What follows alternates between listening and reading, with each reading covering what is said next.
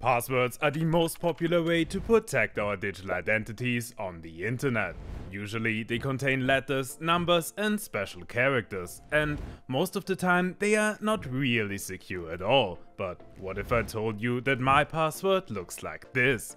and that it's actually really secure. If you believe it or not, this image is my password. In fact, not just any password, but the password for this very YouTube channel. And I can even prove to you that it works. I can just drag and drop my password image onto the password field in my browser, and sure enough, it will just log me in straight into my YouTube account. But why would I just show all of you my password like this? Isn't that extremely irresponsible? And how does all of this even work? To make password images work, we have to hide a regular password inside of our image, without changing the image in any noticeable way. Luckily, we are not the first ones who want to achieve something like this. Similar techniques have been used for a really long time. Just a few years ago, the Russian intelligence service allegedly used hidden messages in images for communication with illegal agents that were stationed abroad. The practice of hiding information in a different medium is called steganography, and it doesn't only work for images. You can embed hidden data in all sorts of different media types, like audio, video or even on a piece of paper. Writing something with invisible ink that can be made visible by heat is a more traditional form of steganography as well. In order to store our password in the image, we have to split it into smaller chunks, so that we can store it across the image without it being noticed instantly. We'll store a small piece of our password in every pixel of our image. And with a simple trick, we can hide the password without altering the appearance of our image in a significant way. Every pixel of our image is stored as binary data, this might look a little scary, but don't worry, all I want to show you is that not all of those bits affect our image in the same way.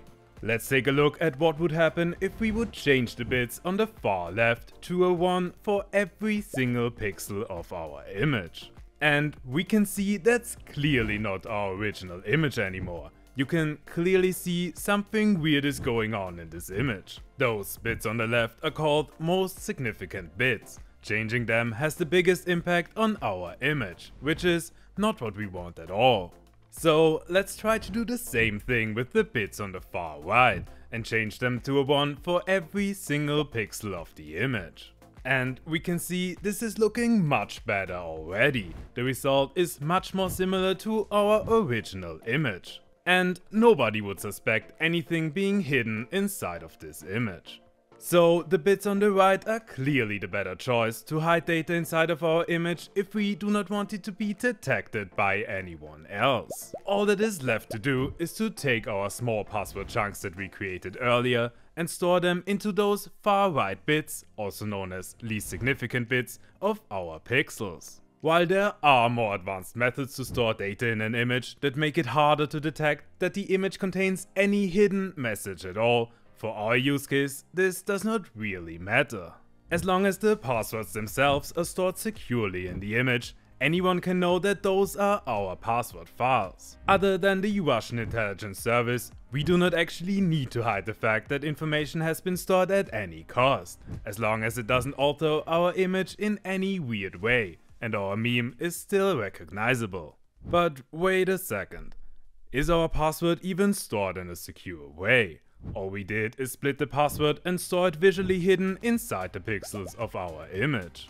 Anyone who knows our method could just read the least significant bits of every pixel and stick together the pieces to get our password. So when showing you my password image earlier, did I just leak my password to my massive audience of about 1000 people, which you should totally join by the way.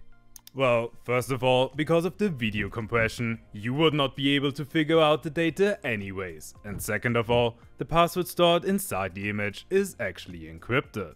While the goal of steganography is to stay undetected in the first place, most of the time you do not want to rely on that alone.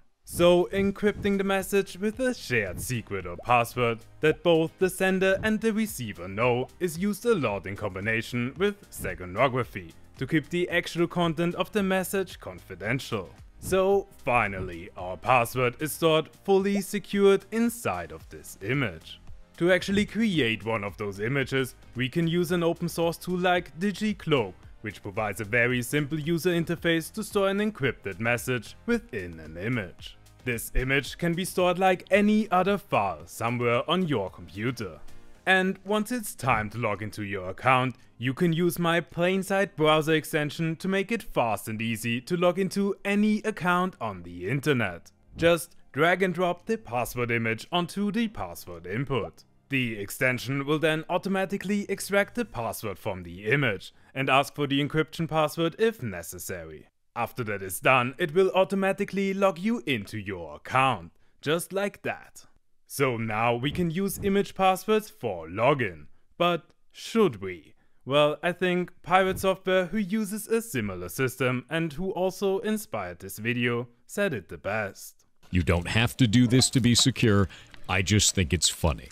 You can find the link to the Plain Sight browser plugin in the description down below, where you can also find the link to Digi-Cloak, the tool that I use to create the image password files.